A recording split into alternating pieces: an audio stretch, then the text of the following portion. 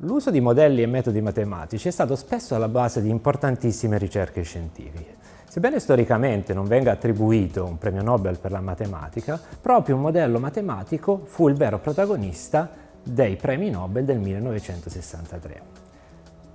Nella copertina di invito per la cerimonia dell'assegnazione dei premi compaiono infatti due ricercatori britannici, Alan Hodgkin e Andrew Huxley, alle prese con un oscilloscopio che misurava i potenziali di azione di un'aragosta.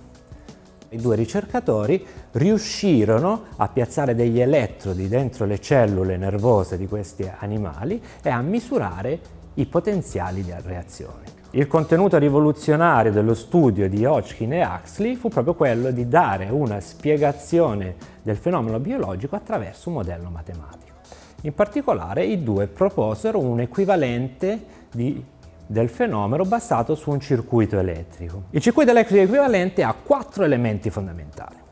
Un condensatore che rappresenta la membrana bilipidica della cellula, una sorgente di corrente che rappresenta la pompa sodio-potassio, delle sorgenti di potenziale che rappresentano il fatto che il sodio e il potassio hanno concentrazioni diverse dall'esterno all'interno della cellula e in ultimo delle resistenze non lineari che modellizzano il fatto che a livello microscopico ci sono dei canali per il passaggio di questi ioni e questi canali per il passaggio si attivano si disattivano a seconda del livello di tensione presente in quel momento all'interno della cellula.